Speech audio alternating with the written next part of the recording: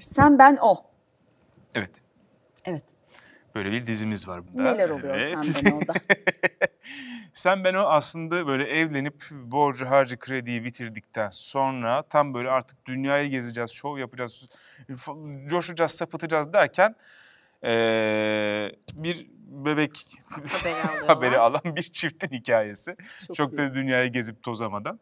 Aynen. Ee, ve bunun üzerinden başlayan ve ilerleyen bir e, aslında tabiri caizse hamilelik komedisi gibi bir çift komedisi. Kim yazdı? Yani durum komedisi Halil- aslında. Halil Halil, Tekeş Halil yazdı. Tekeş. Kimin fikri?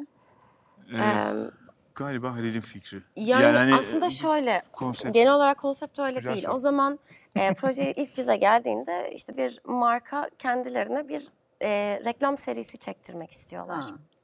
Sonra diyorlar ki biz bunu reklam serisi olarak çektirmesek de aslında YouTube'a bir dizi olarak mı yapsak? Tamam. Sonra e, çeşitli işte kas direktörleri ve çeşitli menajerlerle konuştuktan sonra diyorlar ki şu an dijital platformlarda çok revaçta ve çok da tatlı bir dizi.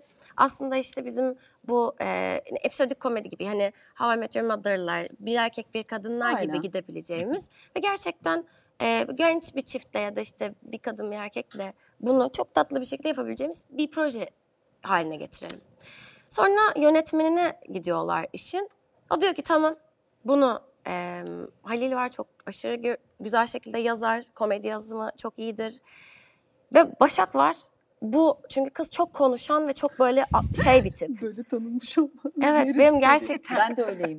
Yani benim çenem de düşüyor. Benim de öyle. Bak bu Sustuğumda programa çok bayılıyorlar. bu arada. Evet. Bu programa bayılıyorlar. Altına hep biraz az mı konuşsan? Ben diyorum mesela az konuştuğum bir programda öğren tabii susmasını öğren falan diye yazıyorlar. Diyorum Ben ki hiç ben susmasını öğrenmeyeceğim. Beni böyle Öğrenmeyeceğim. Ve ben de öyle biri değilim ve o yalan. Yalan. ya da çok susuyorsam eğer birilerinin yanında susuyorsam. Hiç iyi değil o. Hiç iyi değilimdir ben de orada da iyi değilimdir yani.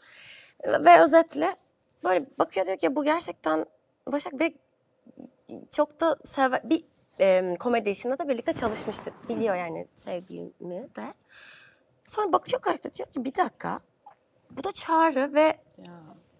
acaba birlikte oynamak isterler mi? Çünkü hiç yani iki ayrı kariyerden ve e, işleten sevgililer olduk ama ilk bir yıl kimseye söylemedik mesela ilişkimiz olduğunu. Çünkü biz ona emin olmadan Ha. merhaba demek istemedik Tamam. hiçbir şeye ve kimseye dışarıdan da yorum, zarar vesaire de Tamam. gelsin. Yani saklamak gibi Biraz de değil. korumak. Bir de pandemiydi zaten. Zaten dışarı çıkamıyoruz. Sadece işe gidiyoruz.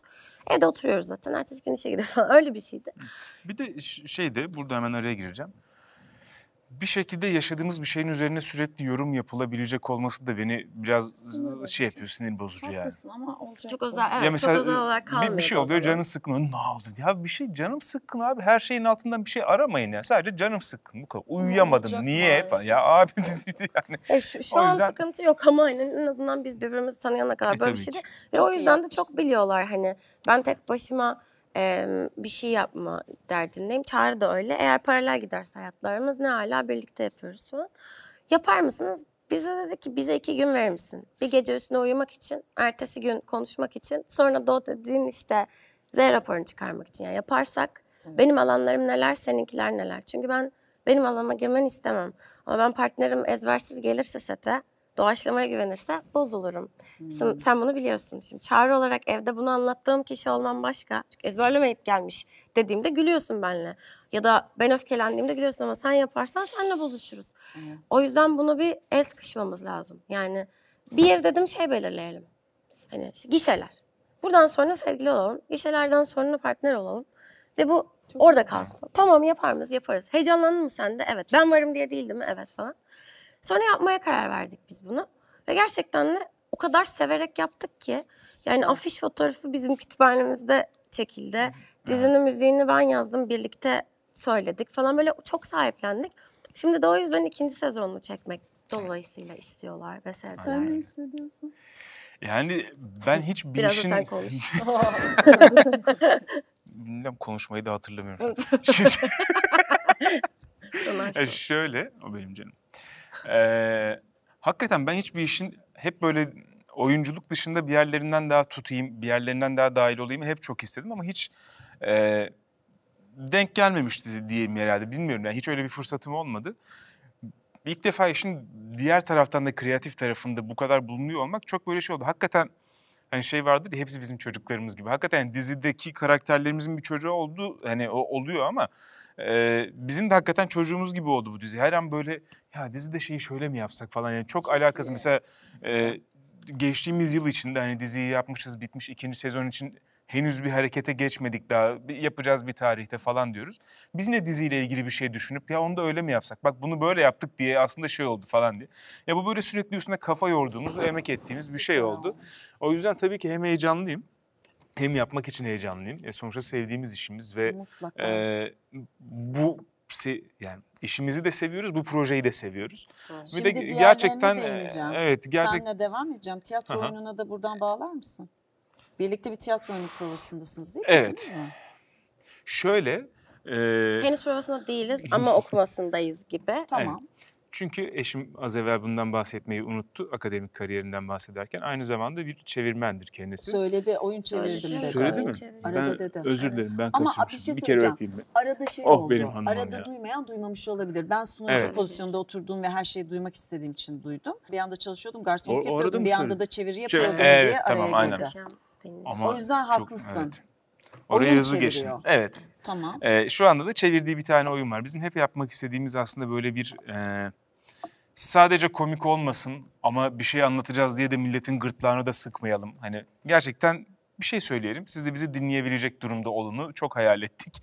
O yüzden tam da öyle bir metin bulduk. Süper. Ee, şimdi Başak onu çeviriyor. O çevirdikçe biz bir yandan okumalarını yapıyoruz. Çünkü Başak çevirmen bunu söylemeyi şaka şaka. Çok iyi. Çevirmen misin? Bunu söylemedin. Ondan sonra o yüzden aslında tam olarak provalarındayız diyemeyiz ama bir yandan okuyoruz. Yani o çevirdikçe projesindeyiz. taze taze. Tamam. Yani şöyle biz Aynen. hani tek başımıza aslında okumasını yapmıyoruz. Bir yapım şirketi yani birlikte projelendiriyoruz ama henüz provalarına geçmedik. Tamam bu önden Aynen gidiyor. ama biz evde hep provasını Biz evde prova yapıyoruz. Hocam özür dileriz. Ama iyi bir şey. Tamam. Bu tutamıyorsunuz kendinizi anladım. Peki her yerde?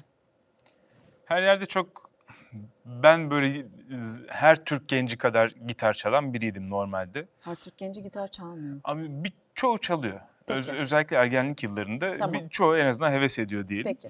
Ee, Kendini bu kadar küçümseme. Peki yani teşekkür bunu ederim. böyle anlatamazsın. Yapma. Çok da güzel Evet. gitar Tamam. çalıyor Biz karşıyız arada. şu an iki kadın. Tamam. Ben de o zaman anlatayım Zaten yani. Sadece gitar değil, bütün vurmaları çalıyor.